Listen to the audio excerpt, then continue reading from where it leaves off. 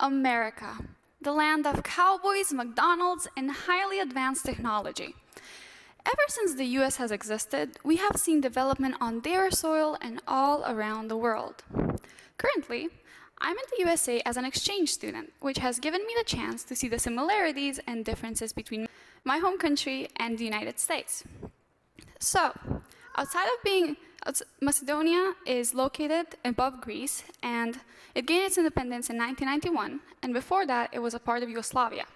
Now we're seeing the aftermath of being a part of a socialist nation. Outside of being freaked out about how much Ameri in America everything is spread out and how much Macedonians are missing out on peanut butter cups, Reese specifically, I came to the conclusion that in America, people have more than the, just their normal political meaning of the word freedom. People have the, the freedom to create and bring the crazier ideas to life. You see, America is a first world country, which means it's a democratic nation that has political and economical stability. In other words, the USA is powerful. Meanwhile, my home country is a developing nation. And, and referring to a developing nation as a third world country is considered offensive. The terms first world, second world, and third world countries came during the Cold War, any country referred as a first world country would be influenced by the USA, Japan, and UK.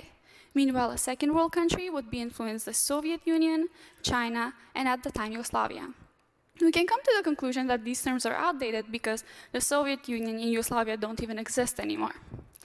So when I say I come from a developing country, people imagine that I live in mud houses and just like in the 1800s. Which leads to me being asked weird questions like, do you have phones? Do you have televisions? Can women wear pants? And my favorite one, do we have orange juice? we do.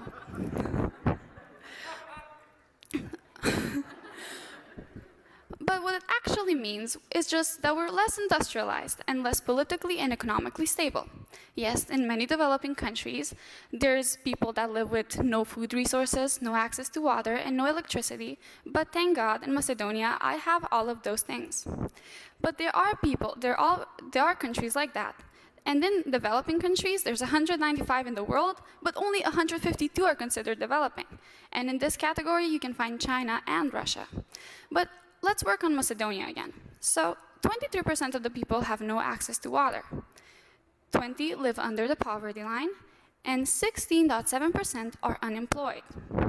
Meanwhile, taking these characteristics and comparing them to the United States, where only 16, 13.4% of the people live under the poverty line, 4.2% of the people are considered unemployed, and 100% of the population has access to electricity, we can come to the conclusion that Americans live in a country that has good economy, most of them have well-paying jobs, and entrepreneurs are granted the possibility to make all sorts of products because Americans keep on asking for variety and items to make their life easier. And this leads to their supermarkets being highly packed. Being an entrepreneur is hard everywhere, but in the USA, we can see that most of our everyday products have been created. In this category, we can find e the internet, email, uh, skyscrapers, traffic lights, submarines, and most importantly, chocolate chip cookies. But I keep on wondering, how would the people of a developing country react to these changes and innovative ideas? So for my first example, I'll use Bill Gates and Paul Allen. Gates and Allen both dropped out of college. Bill Gates from Harvard and, uh, and Paul Allen from Washington State University. Both of them worked for six years until they created Microsoft and became one of the smartest people and one of the richest and smartest people all around the world. So how would this worked in a developing country? If you didn't have a stable job for six years, you probably would have ended up poor, hungry, or even homeless. But in America, you have what I call the Head Start theory. Here, in the group of college students who have dropped out and leaped to success, we can find Lady Gaga, James Dean, and even Ralph Lauren. They were they had the head start because they were in an environment that allowed them to have to make change and be different and had the resources to do all of that. Meanwhile, comparing this with a developing country, you wouldn't really have the resources to do it. In America, individualism is a big thing, and everyone is their own person, seen by their own achievements. And when you want to discover yourself, usually you end up finding something new or creating something new, which ends up in the world maybe making a big difference. So, how would a, con developing country react to something new? Well, or a European country, in my opinion. Galileo Galilei is, an, is from Italy, and he created the telescope and said that the world goes around the sun. So, how did the population in Europe react to, all, to, to this brilliant mind? Well, of course, they imprisoned him and banned all of his studies. Because why wouldn't you do that? but what it actually means is that America has the freedom I'm talking about. You have the freedom to create and to discover new things. And you have the access and the acceptance to create these new, these new things, new creations. And on the market, you have the diversity to promote them. And nonetheless, when you make them, not many people will question, question you to an extent, and you'll have all the resources to do it. So the best way I want to describe the differences between a developing and a developed country is Elon Musk, because he was actually born in South Africa, which is a developing country. It has all of the characteristics of being a developing country.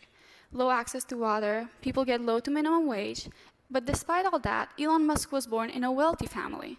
But when he moved to Canada and later on immigrated to the USA, he created the Tesla, a vehicle which is still unavailable in the USA.